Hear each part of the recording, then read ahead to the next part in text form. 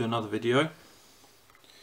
Today I'm going to be showing you how to tie a really nice little pattern for sea bass. It's based on a EP fly and it uses our silver scales prey fish fibre which is very similar to EP fibre. Now you can see it's got quite a narrow profile with a flat sort of highish head.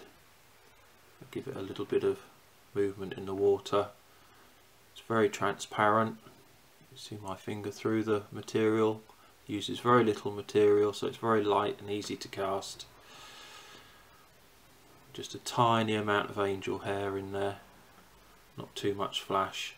And the head is made from densely stacked prey fish fibre which I'll show you as we go along how to do that. Okay, very one of my very most effective flies for sea bass. They love this pattern. Um, you see it's quite long and slender which I found is a profile that bass seem to prefer especially early season. They seem to be hunting whether it's it's my local fish stocks but they seem to be hunting quite long slender profile bait fish possibly smelt that sort of thing. And uh, it works very well. So let's show you how to tie it. So to tie the fly you'll need some Sakuma 410 stainless steel saltwater hooks in 1.0. You'll need some of our prey fish fibre. I've got white and baitfish blue. Small amount of Sybai saltwater angel hair.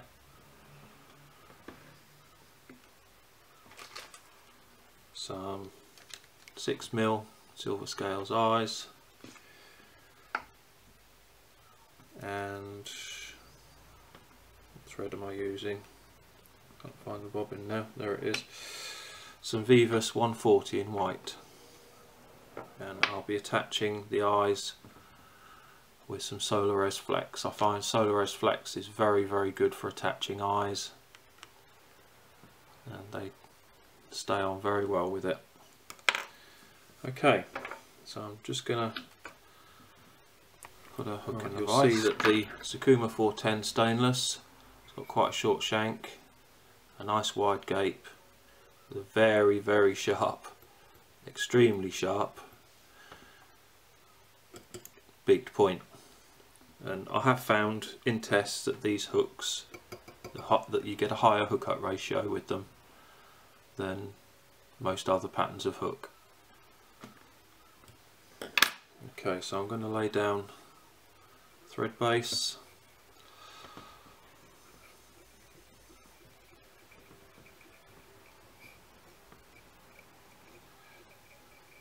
To go almost all the way down to where the bend of the hook starts. Okay, so okay, now it's easy to over overdo it with prey fish fibre you really really really do not need a lot of fibre. Less is definitely more with this. So I'm just going to take quite a thin section about so much. Cut that off. Okay and I'm just going to quickly blend in some angel hair to this piece of fibre. If you look on the channel you'll find there's a video on there showing you how to do this so I won't repeat it here. Just go and have a quick look at that video.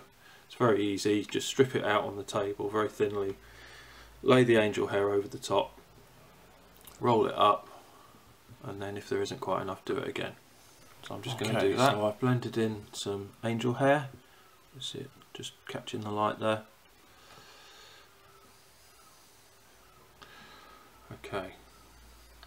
So this is going to be the tail section of the fly.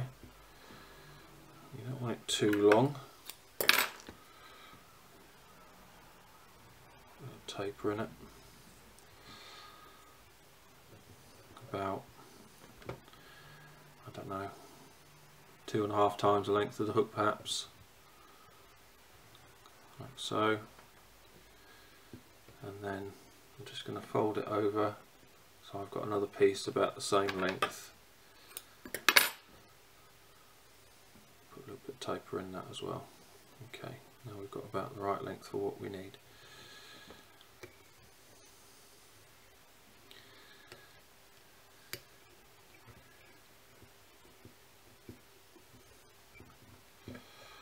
Hold it back.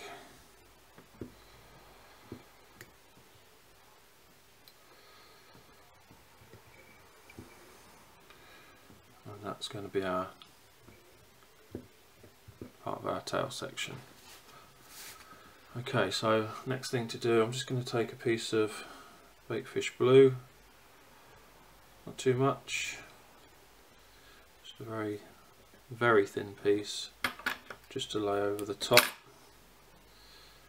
I'm not going to put any flash in this piece, I'm just going to lay it over the top, like so. Just tie it in with a few turns. Invert the hook, take a thin piece, the same of white,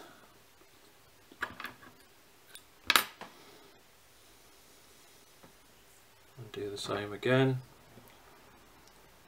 So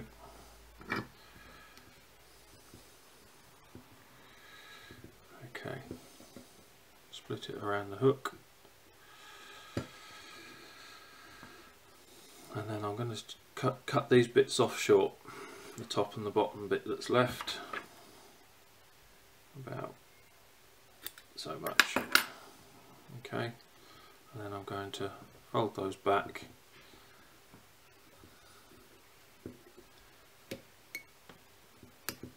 tie it in like so. Okay add a little bit of glue.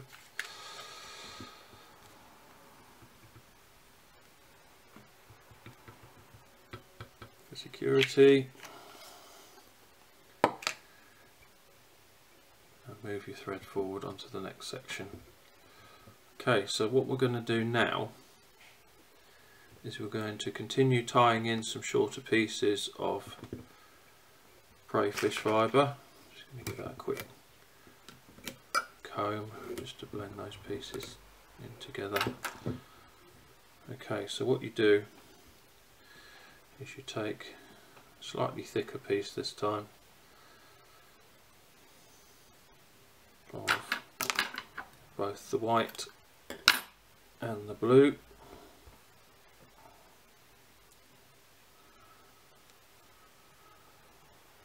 we want the head to be slightly thicker denser than the tail which helps to retain just a little bit of water because prey fish fibre is very hydrophobic. It really sheds the water well. So we want the tail of the fly to shed the water and the head to retain a little. So we're just going to make the head a little bit denser. So we're just going to take short sections of each colour and we're going to tie them in. Now when you tie the these pieces in keep the thread on top of itself and don't make too many wraps because we're going to stack it like almost like we're stacking deer hair. Okay and that helps us to to form the denser head okay so just tie keep the thread wraps on top of themselves. And then what we're going to do is fold each of these short sections back.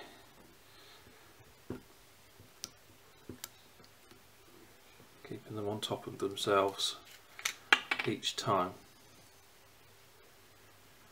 Like that. Okay. I'm going to do another section and then I'm going to speed the video up so that you're just not sat there watching me tie these pieces in. So that's on top of itself. Short sections of material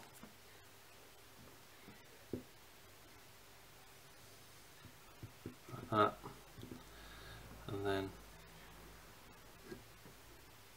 fold them back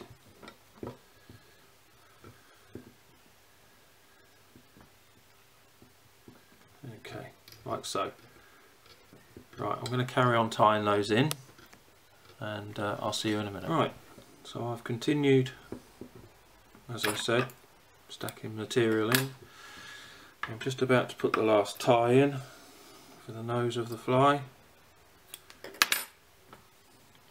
Just another short section.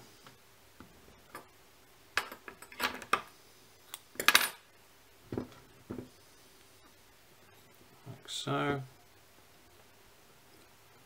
And for the last time, fold it back. And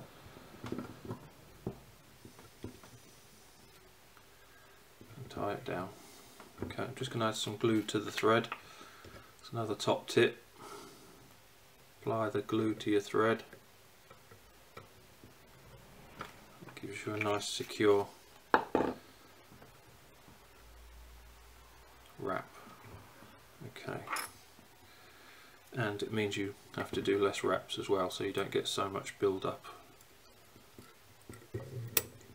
Okay. Right, and we can see I've got quite a scruffy looking fly so how do we get from that to that well what we're going to do is take it out of the vise I'm going to comb the material through It's easier if you do this on the bench. I'm just going to put it on the bench and give it a... Okay, basically what we want to do is to splay the material out. So it's all stuck out at 45 degrees roughly from the hook. And then what we're going to do, take some scissors and we're going to start trimming the fly. And we're going to keep trimming. If you keep standing the material up at an angle,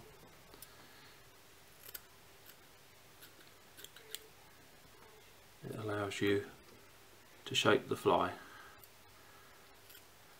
This is not something that I can show you accurately how to do because there is a little bit of a knack to, to trimming flies to the shape you want.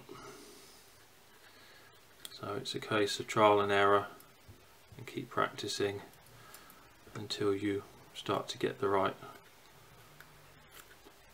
profile that you're looking for. In this case I'm looking for a, a thin slender profile so I'm just going to keep trimming away at the material until I get somewhere close.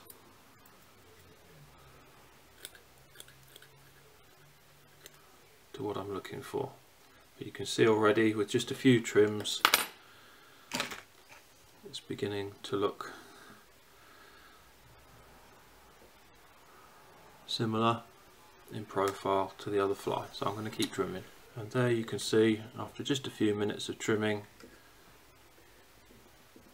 I'm almost where I want to be with the profile just nice and slender nice translucent tail and a nice dense trimmed head.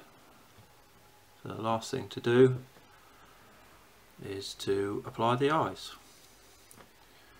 So put it back in the vise.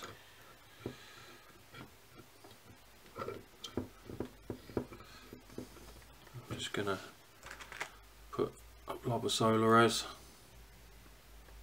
good size blob.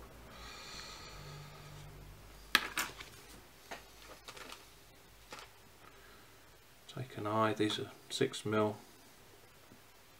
silver, gold, silver scales eyes. Just give it a zap with the torch. The Solarez Flex is very flexible as the name suggests, which is why I like it for applying eyes. It's really sticky, soaks into the fibres well, really grips. There's less chance of you losing your eyes. Well, not your eyes, the fly's eyes. when um, when a fish bites on it.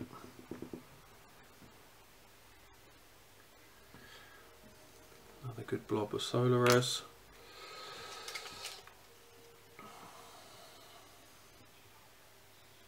Pop the eye in place.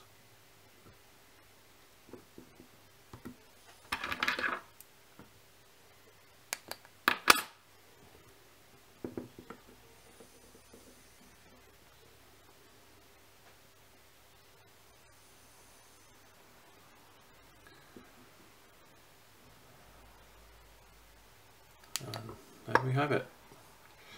I'll probably keep trimming this for a little while until I get the absolutely perfect profile. But that, that isn't far off. Sometimes it can help having the fly in the vise just to see where you are with your trimming.